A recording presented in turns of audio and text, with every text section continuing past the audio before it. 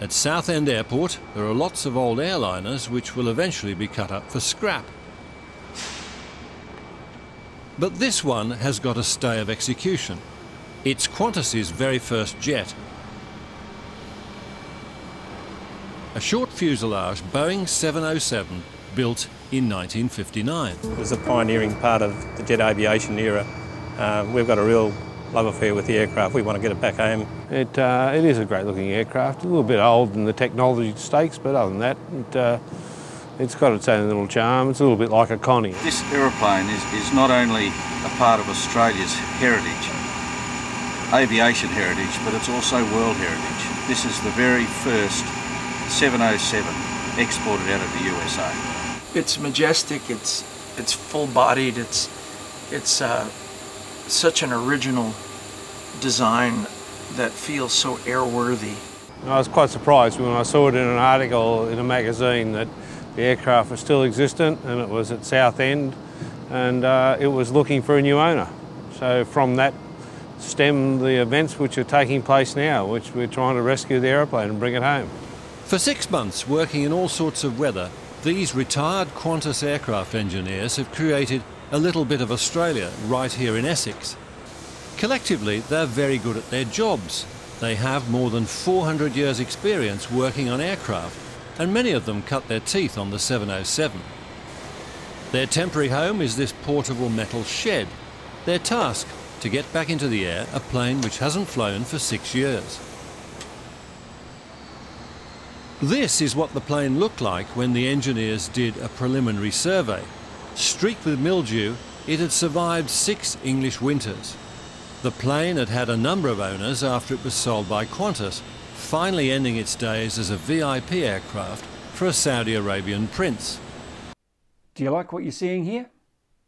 If you'd like to watch the full length version of this film, jump on over to www.historicalmachines.tv, sign up for a free seven day trial, and you can watch it free of charge. But while you're there, check out the rest of the catalogue because we've got an awful lot of material and we think it'll be worth your while sticking around.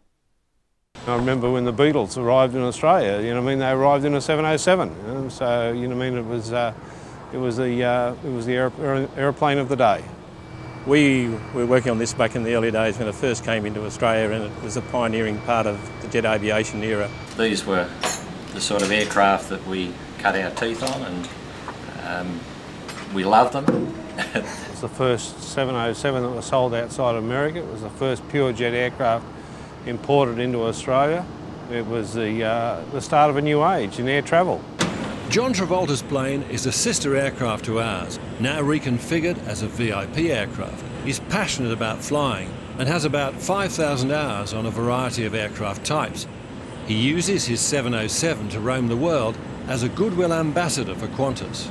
My crew and I are so impressed because we know what it takes to keep a 707 of a vintage uh, style up and keep it current and keep it flying in uh, top standard.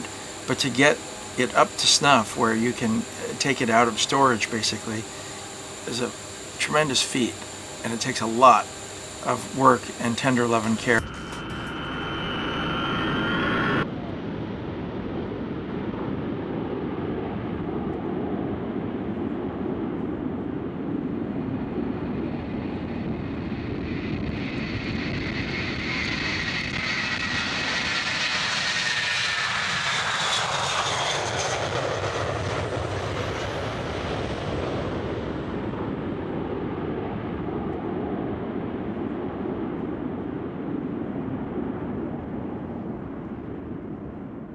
Join us on our full advert free streaming service at historicalmachines.tv, where you'll find lots more great footage just like this, all for less than the cost of a cup of coffee per month.